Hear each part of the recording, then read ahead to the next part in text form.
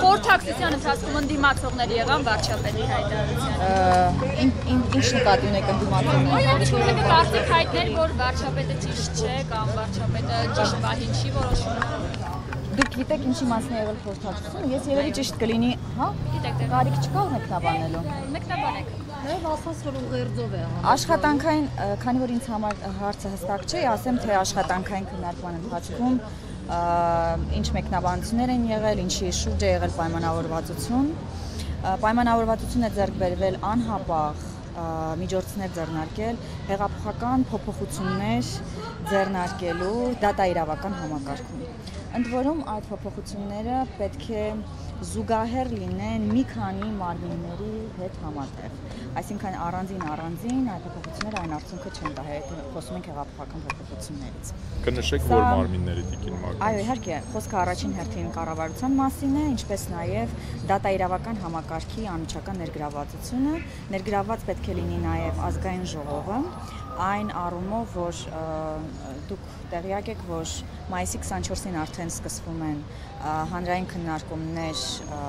անցումային արդարադատության հետ կապված եւ այդ հանրային քննարկումներում, որտեղ ներկա են լինելու նաև հասարակական կազմակերպություններ եւ քաղաքացիական հասարակության լայն ներկայացուցիչներ, նրանց առաջարկները նույնպես աշխատանքային խմբին ներկայացվելու են եւ լուծումներում դրանք պետք է նույնպես արտացոլված ինչու Վարչապետն ասեց, սպասեցիք ասեց մեկ ինչ տարի։ ինչ ինչ ինչ է լինելու այն ինչ է լինելու այն Վարչապետերով հրաժարական տա ով չէ, ով է դա որոշում։ Ես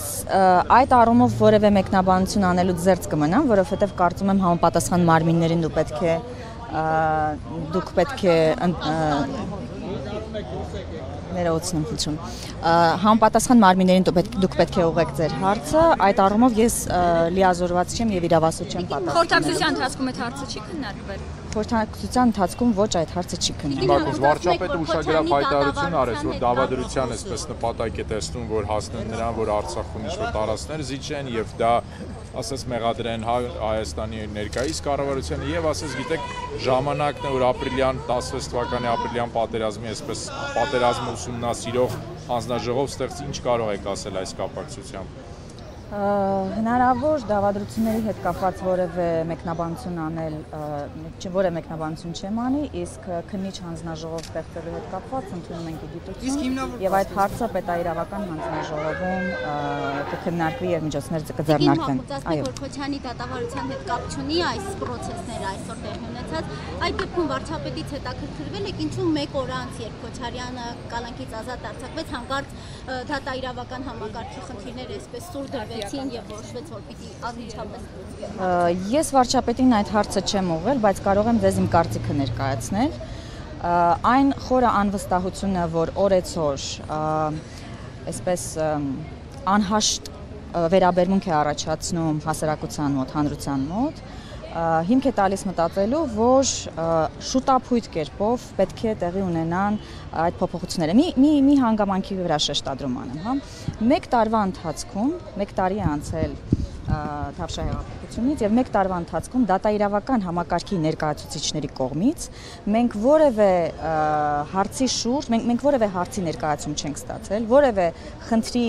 վերաբերյալ մեկնաբանություն չենք լսել, հանրություն, մենք ասելով նկատի ունեմ հանրությունը, եւ ոչ էլ դատաիրավական համակարգը բարեփոխելու ուղղությամբ ա, որևէ քայլերի առաջարկ չի ներկայացվել։ Եվ այս ամենը գնալով օրեցօր խորանում է եւ այն ինչ որ տեղի էր ունենում վերջին շրջանում, դրա վառ դրսևորումներից էր։ Եւ այո, մի կետից պետք է սկսել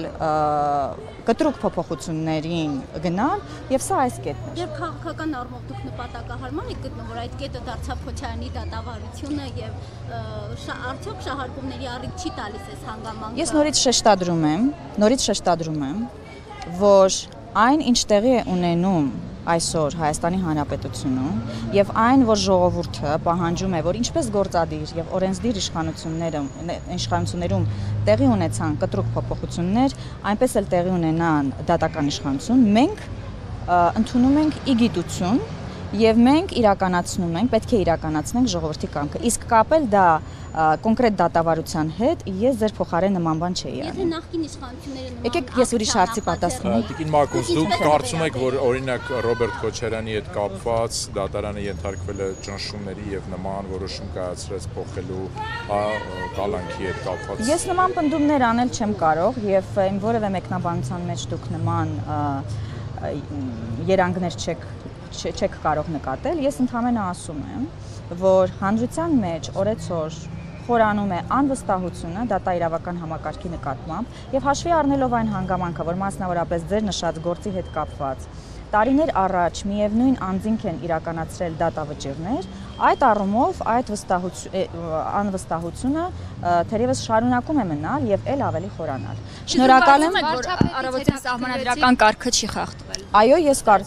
Այո, այո, ես համաձայն եմ, որ սահմանադրական կարգը չի խախտվել եւ այն ինչ որ տեղի ունեցավ այսօր մի քանի ժամ Հայաստանի Հանրապետությունում, դա բխում էր այն հեղափոխական փոփոխությունների տրամաբանությունից, որը տեղի է ունեցել սկսած 1 տարի առաջվա։ Շնորհակալություն։ Միջազգային կառույցները արդեն իսկ դատապարտում են կոչ անելով ը, Որ միջազգային կառույցը։ Freedom House-ը արդեն իսկ հայտարարություն է տարածել այդ կապակցությամբ։ ես մի փոքր այլ տես Ներեցեք ասում են, որ Նիկոլ Փաշինյանը պոպուլիզմի է, հա, գնում, ինչպես կմեկ։ Ես մի փոքր այլ տեսանկյունից կանդրադառնամ ձեր հարցին։ Միջազգային կառույցները այս պահին չեն շտապում գնահատականներ հնչեցնել